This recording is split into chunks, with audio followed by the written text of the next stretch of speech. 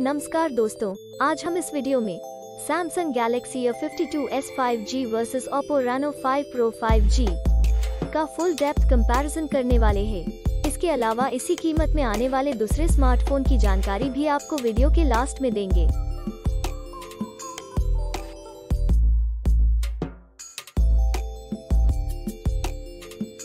सबसे पहले बात करते हैं दोनों फ़ोन के डायमेंशन की दोनों फ़ोन की लेंथ की बात करें तो Galaxy A52s 5G में 6.3 इंच, जबकि Reno 5 Pro 5G में 6.29 इंच की लेंथ मिलती है, जो कि सेम जैसी ही है। विथ की बात करें तो Galaxy A52s 5G में 2.96 इंच, जबकि Reno 5 Pro 5G में 2.88 इंच की विथ मिलती है, जो कि गैलेक्सी A52s 5G से कम है। बात करें थिकनेस की तो Galaxy A52s 5G में 0.33 इंच जबकि Reno 5 Pro 5G में 0.3 इंच की थिकनेस मिलती है। अब बात करते हैं वेट की तो? Galaxy A52s 5G में 189 ग्राम जबकि Reno 5 Pro 5G में 173 ग्राम का वेट देखने को मिलता है। तो चलिए अब हम डिस्प्ले को कंपेयर करते हैं। डिस्प्ले टाइप की बात करें तो दोनों फ़ोन में सेम ही। सुपर ए AMOLED की डिस्प्ले मिलती है। एस्पेक्ट रेशियो दोनों फ़ोन में सेम ही। 20 रेशियो 9 मिलता है। डिस्प्ले साइज़ की बात करें तो Galaxy A52s 5G में 6.5 इंचेस जबकि Reno 5 Pro 5G में सिक्स 6.55 इंचेस मिलती है। डिस्प्ले रेजोल्यूशन दोनों फ़ोन में सेम ही। 1080 by 2400 मिलता है। Screen to body ratio Galaxy A52s 5G में चौरासी दशमलव नौ चार प्रतिशत जबकि Reno 5 Pro 5G में अठासी दशमलव छह एक प्रतिशत मिलता है। बात करें PPI डेंसिटी की तो Galaxy A52s 5G में 405 पिक्सल प्रति इंच जबकि Reno 5 Pro 5G में 402 पिक्सल प्रति इंच मिलती है। अब देखते हैं डिस्प्ले के अन्य फीचर्स यानी विशेषताएँ की जो कि मोबाइल फ़ोन का महत्वपूर्ण हिस्सा है। बात करते हैं सबके पसंदीदा फीचर्स कैमरा की।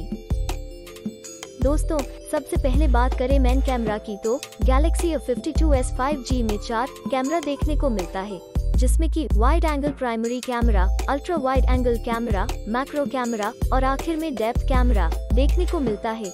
और Reno 5 Pro 5G की बात करें तो इसमें भी हमें चार कैमरा देखने को मिलता है। जिसमें कि primary camera ultra wide angle camera macro camera और आखिर में मोनो कैमरा देखने को मिलता है। बात करें वीडियो कैमरा की तो दोनों फ़ोन में आठ डिफरेंट टाइप के फीचर्स मिल जाते हैं।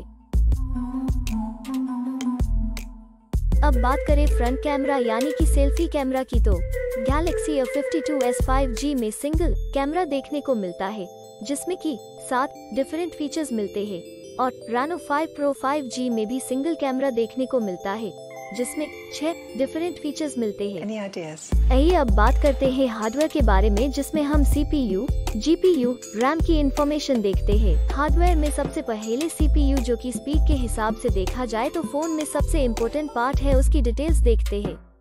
GPU की बात करें तो Galaxy A52s 5G में Adreno 642L जबकि Reno 5 Pro 5G में Mali G77 MC9 मिलता है चिपसेट की बात करें तो Galaxy A52s 5G में Qualcomm Snapdragon 778G और Reno 5 Pro 5G में MediaTek Dimensity 1000 Plus MT6889Z मिलता है बात करें रैम की तो Galaxy A52s 5G में दो वेरिएंट देखने को मिलता है जिसमें 6 गीगाबाइट 8 गीगाबाइट की रैम मिलती है, जबकि Reno 5 Pro 5G में एक ही वेरिएंट देखने को मिलता है, जिसमें 8 गीगाबाइट रैम मिल जाती है। बात करें इंटरनल मेमोरी जिसको हम स्टोरेज भी कहते हैं, वो Galaxy A52s 5G में दो वेरिएंट देखने को मिलता है, जिसमें 128 गीगाबाइट 128 गीगाबाइट की स्टोरेज मिलती है, जबकि Reno 5 Pro 5G में एक ही वेरिएंट देखने को मिलता है। जिसमें 128 गीगाबाइट स्टोरेज मिल जाती है। एक्सपैंडेबल मेमोरी की बात करें तो Galaxy A52s 5G में अप टू 1 टेराबाइट जबकि Reno 5 Pro 5G में नहीं है। ऑपरेटिंग सिस्टम दोनों फ़ोन में, Android V11 देखने को मिलती है। बैटरी गैलेक्सी A52s 5G में 4500 mAh जबकि Reno 5 Pro 5G में 4350 mAh देखने को मिलती है। आइए अब मेन फीचर को देखते हैं।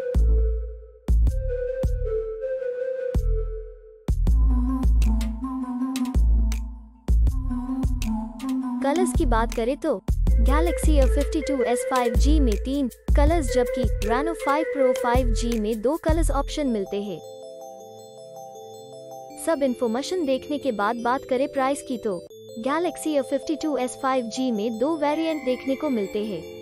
जिसमें कि 6 गीगाबाइट रैम 128 गीगाबाइट स्टोरेज के साथ पैंतीस हज़ार नौ सौ निन्यानवे रूपीज आठ गीगाबाइट रैम 128 गीगाबाइट स्टोरेज के साथ सैंतीस हज़ार चार सौ निन्यानवे रूपीज में मिलता है और बात करें Reno 5 Pro 5G की तो उसमें एक ही वेरिएंट मिलता है जो कि 8 गीगाबाइट रैम 128 गीगाबाइट स्टोरेज के साथ बत्तीस हज़ार चार सौ नब्बे रूपीज में मिलता है।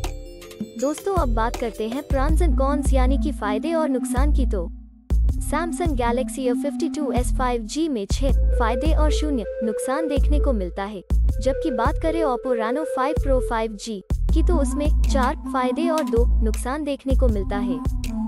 फाइनली बात करें है रिज़ल्ट की तो डिस्प्ले में दोनों फ़ोन सेम ही है। मेन कैमरा में दोनों फ़ोन सेम ही है। फ्रंट सेल्फी कैमरा में दोनों फ़ोन सेम ही है। परफॉर्मेंस में दोनों फ़ोन सेम ही है। दोस्तों अब हम सेम प्राइस में आने वाले दूसरे फ़ोन को भी देख लेते हैं।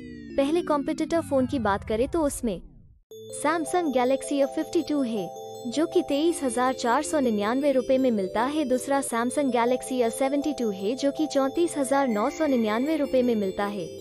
तीसरा वन प्लस नाइन आर है, जो कि उनतालीस हज़ार नौ सौ निन्यानवे रूपए में मिलता है। और लास्ट कॉम्पिटिटर फ़ोन की बात करें तो उसमें Samsung Galaxy S twenty five G है। जो कि सैतालीस हज़ार नौ सौ निन्यानवे रुपीज़ में मिलता है और ये सारे फ़ोन की डिटेल्स आपको डिस्क्रिप्शन में मिल जाएगी।